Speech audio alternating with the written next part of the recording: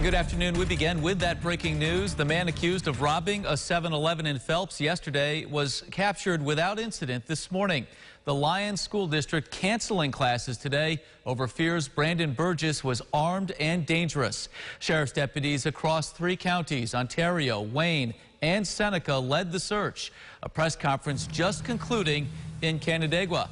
Kayla Green is live there to tell us just how Burgess was captured. Kayla?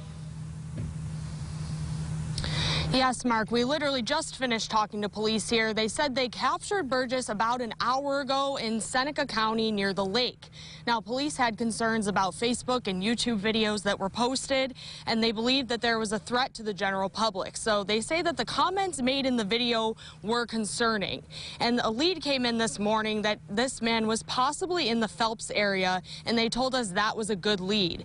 So they also got a lead that he was with someone in a car. They're not currently saying who that person was, but they stopped that car.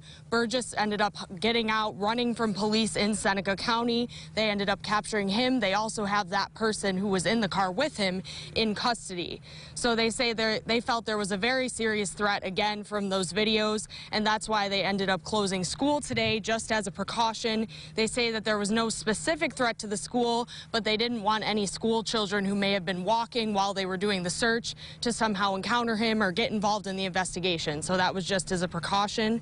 Um, so depending on what weapon he have, he may have had will depend on the level of robbery charge that he will be charged with. So they're not sure. The investigation is very early. As I said, they just got him about an hour ago.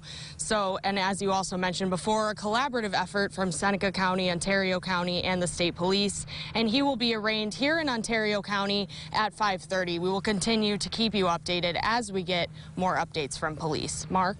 Kayla, thank you for that live update. Again, this is a fluid situation.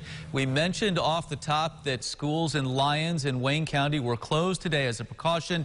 In addition, Clyde Savannah was on lockout as the search for Burgess ensued. And again, as Kayla mentioned, captured late this morning.